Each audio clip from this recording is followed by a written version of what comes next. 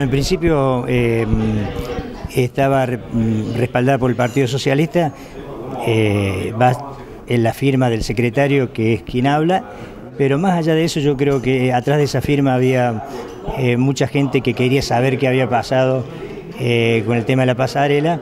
y bueno, lamentablemente ahora vemos que, que el caso da la impresión de que se ha cerrado por falta de pruebas. Eh, nosotros no tenemos información, no hemos visto, no hemos accedido a nada como para hacer un comentario sobre el tema porque es una causa que tuvo inconvenientes en su comienzo. Pasado creo que un par de años no tenía presupuesto el fiscal para, eh, eh, para actuar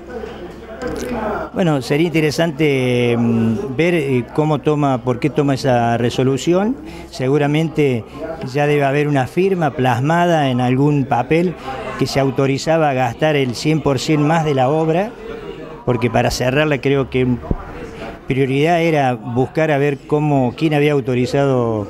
ese monto, que era mucho y que en ese momento no había. Es decir, en ese momento no cerraba nada sería interesante ver si realmente se cerró la causa, cuándo se abrió, porque no había presupuesto. Nosotros nos tomamos un tiempo prudencial para visitar al fiscal en dos oportunidades y no tenía presupuesto. Nosotros hacíamos hincapié en que más allá del análisis técnico sobre la obra, eh, se investigara quién, cómo eh, había autorizado ese monto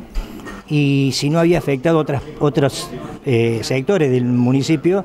que bueno, eh, no, necesitaba presupuesto para eso. Seguramente faltaron aporte, hubo gente que tenía datos y no los aportó. ¿De dónde tendrían que haber surgido esos datos? El gobierno que sucede a, la señora Carmen de Ceballo, ellos tenían, personalmente te lo decían, pero bueno, no acudieron a, la fiscalía. Yo creo que a lo mejor esta nota o este, este mm, eh, sí, bien, esta nota hace recapacitar a, aquellos que tienen algún dato para aportar, porque eh, según eh, lo que ayer manifestaba el, doctor, eh, dice que podía sumarse datos a la causa, que seguramente por eso se cerró porque faltaban datos. Ruiz dijo que desearía que la resolución de la Fiscalía de Instrucción sobre el paso del Bicentenario se hiciera pública. Lo, importante sería, más allá de lo que me pueden hacer llegar a mí, que esto se hiciera público, que se hiciera público cuáles fueron las investigaciones, porque es un problema que los aflige a toda la, a toda la población de Belville, no solo a Jorge Runi y al Partido Socialista.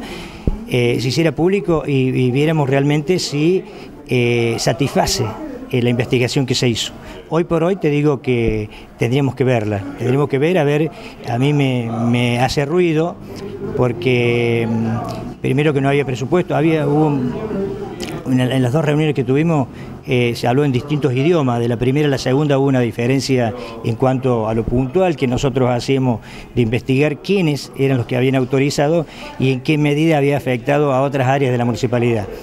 Bueno, si eso se investigó, si eso está, eh, sería interesante que la población toda la supiera, no solo Jorge Ruiz, sino todos. Es doloroso que hace unos días una directora de un jardín salga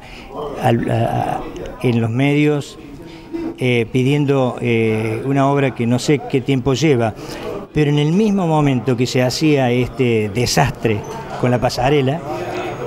cubría ese monto las cuatro, los cuatro jardines. Yo creo que eso, eso duele mucho,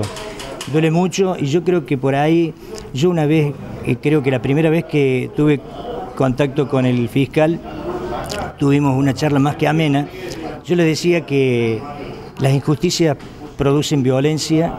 y hay que tratar de que eso no ocurra. Y esto hace ruido. Sería interesante saber cómo llegó al punto que llegó y que lo haga público y que cubra las expectativas de todos los que queríamos que esto eh, de alguna manera se esclareciera o se investigara.